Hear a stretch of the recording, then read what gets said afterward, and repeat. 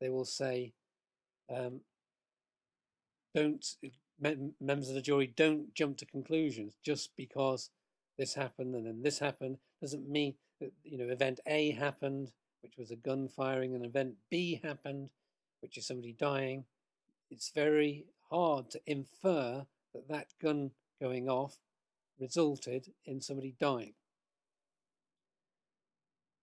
There is the well known uh, idea of this problem of the smoking gun uh, in evidence, which illustrates the whole point about uh, inductive reason in relation to evidence.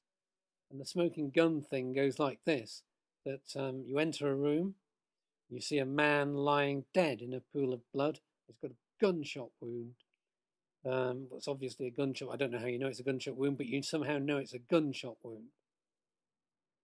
And standing not very far away from him is a man with a gun, and smoke is coming from the barrel of the gun. Um, there's no trick in this, the gun has been fired. So in the room, the gun has been fired, recently fired, and there's evidence that a gun has recently been fired. And nearby, there's a man lying with a gunshot wound, dead. Now, the inference. So, so now let's let, let's do inductive reasoning on this. We've got our data. We've got a dead man. We've got a gun, and we know that. Uh, sorry, we've got a dead man by gunshot wounds, and we've got a gun.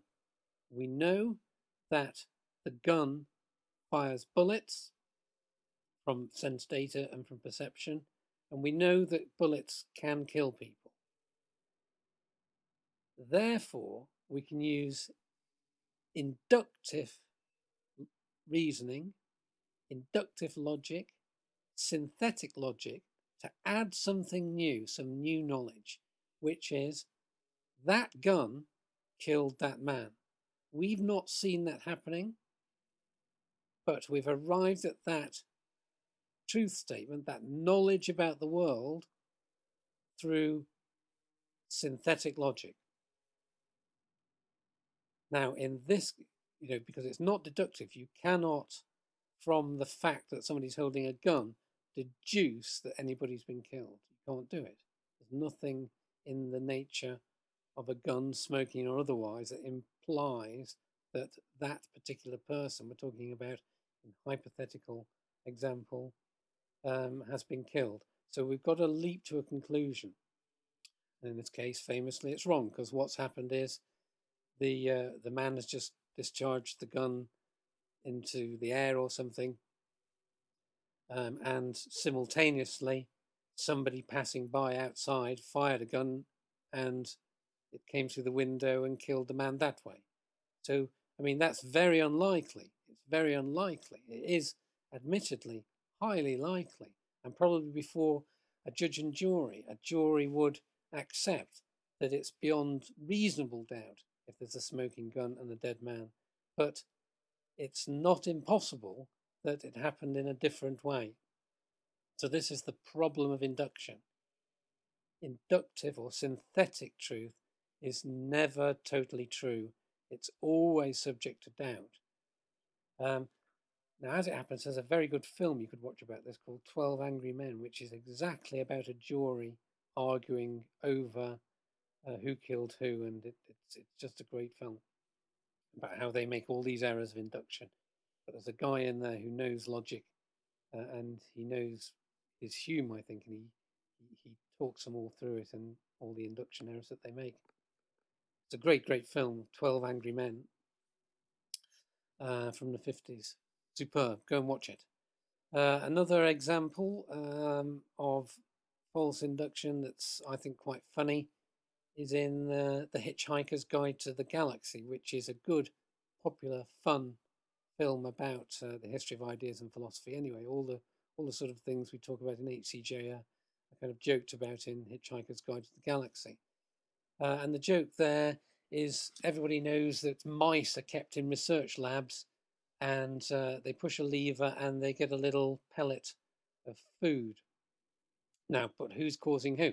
Is pushing the lever causing uh, the, the pellet to happen, uh, the pellet of food to come, or um, are so, sorry, so are the um, scientists controlling the mice, or are the mice controlling the scientists? Is by pushing that pellet, are they causing the scientists to give them a little pellet of food? Or is it the other way around? Is it the scientists offering the pellet of food that is causing the mice to push push the lever? Now, obviously, the common sense induction, because it is induction, is that the um, the scientists are causing the mice to push the lever. But in the Hitchhiker's Guide to the Galaxy, it's the other way around. That the whole of science, the whole of philosophy and everything has been created. Gigantic conspiracy by these mice, so that whenever they push a lever, um, it, forces these scientists who have they who have they deluded in a kind of Cartesian way into a kind of false consciousness. Uh, the scientists believe that they're controlling the mice, but really the mice are controlling the scientists. So that's uh, not exactly a belly aching laugh, but uh, quite an amusing way of looking at this. So the problem of false induction is very widespread. For example, according to sense perception, the sun uh, goes across the sky and causes day to happen. And when it sets, it, this event of the sun setting appears to cause the night to happen.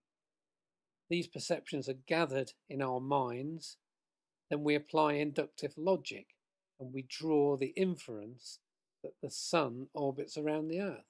And for millions of years, that was believed to be true because it's a perfectly reasonable, synthetic, logical conclusion to draw from what you see about the movement of the sun.